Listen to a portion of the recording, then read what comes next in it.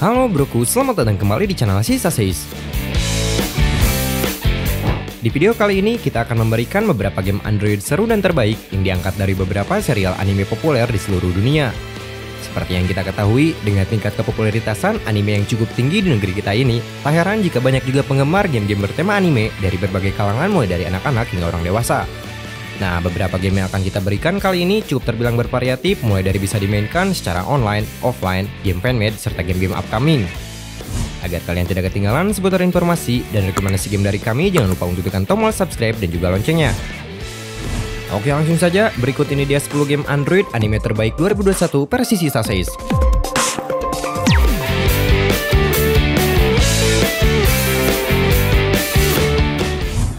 Pokemon Unite seperti judulnya, game yang pertama ini merupakan sebuah game online MOBA yang cukup fresh dan mengangkat salah satu anime populer yaitu Pokemon.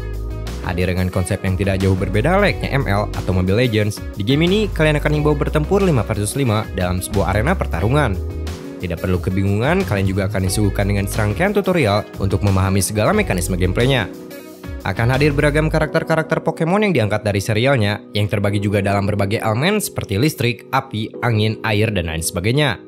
Hadir juga beragam fitur-fitur seru dan menarik, contohnya seperti multiplayer real-time, evolution Pokemon, up permainan hingga cross-platform yang memungkinkan kalian untuk bertarung secara lintas platform dengan para pemain dari konsol Nintendo Switch. Bagi kalian penggemar Pikachu dan kawan-kawan, game anime yang cukup populer belakangan ini juga pastinya harus kalian coba.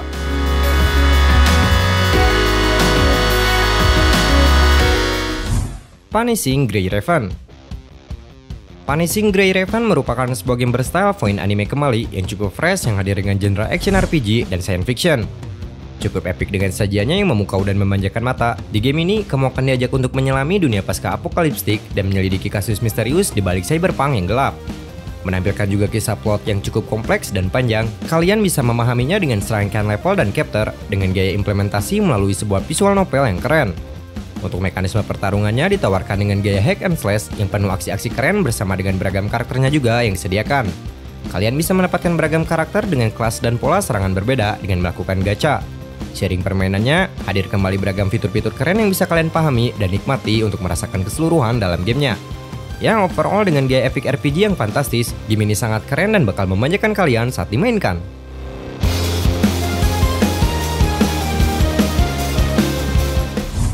Rise of Shinobi Rise of Shinobi merupakan sebuah game anime fanmade yang cukup populer dan sangat berkualitas juga untuk dicoba. Harus kalian tahu, game ini diperuntukkan untuk para fans atau penggemar Naruto untuk bermain secara online multiplayer bersama-sama. Nah, untuk memainkannya juga tidak semudah menginstal aplikasi game biasanya, karena game ini merupakan sebuah game PC, maka akan ada beberapa langkah yang cukup rumit untuk dapat memainkan game ini. Namun kamu tidak perlu kebingungan karena banyak juga tutorial yang bisa kalian ikuti di channel YouTube lain. Hadir dengan game engine terbaik yaitu Unreal Engine 4, game Naruto ini tampil dengan gaya open world yang cukup luas, di mana di dalamnya juga kalian bisa bermain dengan beragam karakter populer, contohnya seperti Naruto, Sasuke, Boruto, dan masih banyak yang lainnya. Seperti game open world notabene kalian bisa bermain sebebas mungkin untuk bereksplorasi, bertarung, dan menikmati segala fitur yang ada.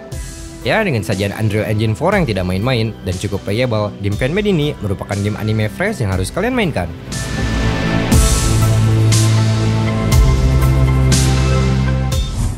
Legendary Fighter Battle of God.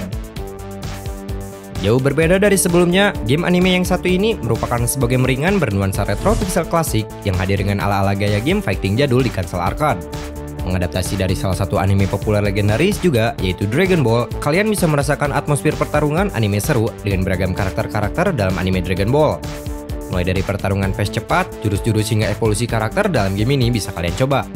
Akan hadir 4 mode permainan yang bisa kalian mainkan, mulai dari versus, turnamen, boss, dan training.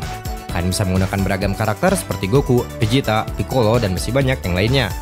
Untuk mekanisme gameplaynya, hadir dengan gaya arcade klasik dengan konsep side-scrolling yang cukup baik, disertai juga banyak unsur efek keren layaknya seperti dalam animenya. Ya, dengan sajian yang sederhana namun sangat baik, game ini juga cukup worth it untuk dimainkan.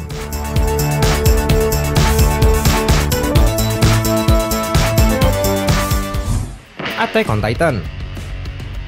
Game anime yang satu ini merupakan sebuah game fanmade kembali dari developer bernama Suami Exo yang hadir dengan kualitas tidak main-main dan diciptakan dengan cukup sempurna untuk sebuah game fanmade.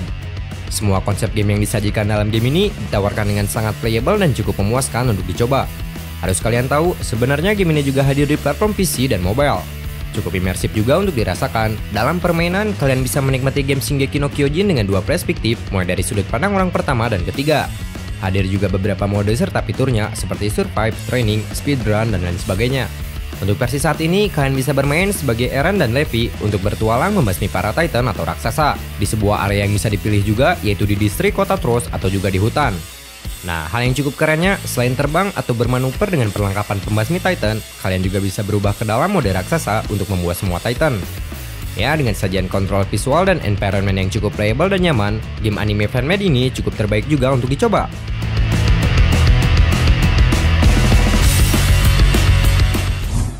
Slime Isekai Memories Game anime yang satu ini merupakan sebuah game online terbaru yang cukup fresh yang mengadaptasi game dari anime ternama kembali dengan judul yang sama. Bagi kalian penikmat game-game gacha RPG dengan kisah kompleks dan panjang, kalian pastinya harus mencoba deh game ini.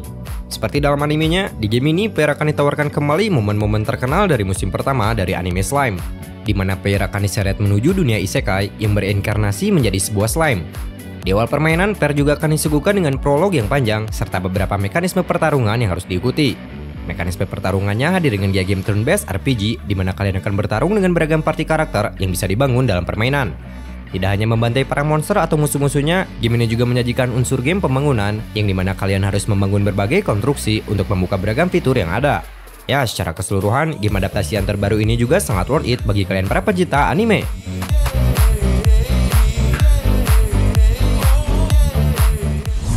Epic Conquest 2 Epic Conquest 2 merupakan sequel game RPG lokal besutan anak bangsa dan cukup terbaik dan harus kita mainkan. Masih mengangkat permainan RPG yang dibalut style anime, di game ini kalian akan bermain di sebuah dunia fantasi dan ditugaskan bertarung dengan para monster-monster hingga bosnya yang beragam. Untuk kisah yang dihadirkannya disajikan dengan gaya dialog narasi yang cukup kompleks disertai beberapa cutscene yang bisa kalian pahami. Nah, akan dihadirkan 8 karakter yang bisa kamu coba di game ini dengan masing-masing keterampilan dan combat battle yang berbeda. Selain bertarung menyelesaikan serangkaian quest, kalian bisa berjelajah dalam dunia terbuka untuk bereksplorasi, menemukan harta karun, serta item-item yang tersembunyi.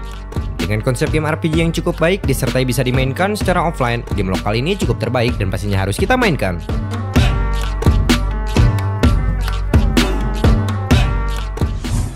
My Hero Academia The Strongest Hero Game anime yang satu ini merupakan sebuah game online kembali dari publisher Sony Picture Television yang mengangkat salah satu anime populer zaman-zaman ini yaitu Boku no Hero. Namun sayangnya harus kalian tahu bahwa game ini belum dirilis dalam server region Indonesia, jadi kalian harus bermain dalam server lain untuk bisa memainkannya. Cukup terbilang berat juga dan membutuhkan spek handphone yang tinggi, game ini menawarkan permainan game masif online yang seru dan penuh aksi-aksi style anime yang kental dari versi anime aslinya. Beragam karakter-karakter hero keren dengan kekuatan yang bervariasi pun bisa kalian dapatkan dan gunakan dalam permainannya. Seperti game-game online anime RPG notabene, kalian akan dibawa untuk memberantas kejahatan, melawan para penjahat, menikmati fitur online harian, dan sejenisnya. Mekanisme pertarungan yang direkannya cukup terbilang keren dan kualitas, yang rasanya bakal membawa kalian seperti dalam sebuah permainan di konsol ataupun PC. Ya, dengan sajian yang tidak main-main kembali dan penuh efek-efek pertarungan yang keren, kalian harus ikut bertempur bersama Deku dan kawan-kawan lainnya di dalam game ini.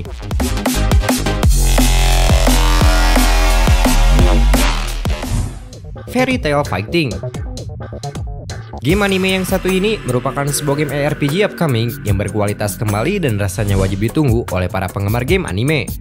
Mengangkat salah satu anime ternama kembali, game ini hadir dengan gaya game online RPG seru yang akan mengajakmu untuk mengikuti kisah petualangan seru bersama Natsu dan kawan-kawan lainnya. Seperti yang saya temukan dalam beberapa teasernya di internet, game ini hadir dengan konsep game RPG anime 3 dimensi dengan gaya yang notabene yang dibumui unsur petualangan sihir epic yang cukup baik. Kalian dalam gamenya akan dibawa menyelesaikan serangkaian quest yang dibagi dengan karakter dan level dan bosnya. Nah, hadir juga fitur gacha di mana kalian bisa mencoba mendapatkan karakter lainnya seperti Lucy, Grey, Erja, dan lain sebagainya. Ya, dengan visual memukau dan pertarungan dunia sihir yang menarik, game upcoming ini pastinya harus kalian nantikan untuk dimainkan.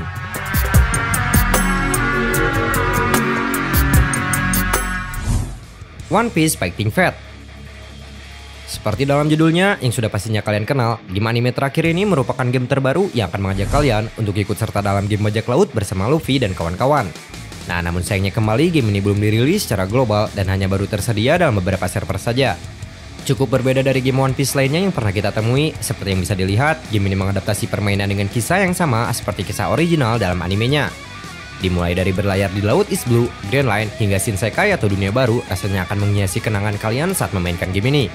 Untuk mekanisme pertarungannya, hadir dengan game RPG yang cukup notaben dengan gaya-gaya combo pertarungan seru yang bisa dikeluarkan.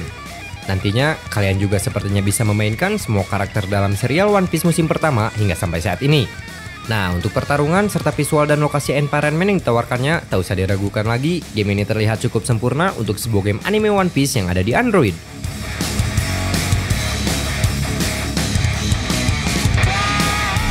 Oke cukup sekian, itulah 10 game Android anime terbaik 2021 menurut kami. Terima kasih sudah menonton video ini. Jangan lupa untuk like jika kalian suka dengan videonya, share kepada teman-teman kalian, subscribe agar kalian tidak ketinggalan seputar informasi dan rekomendasi game dari kami.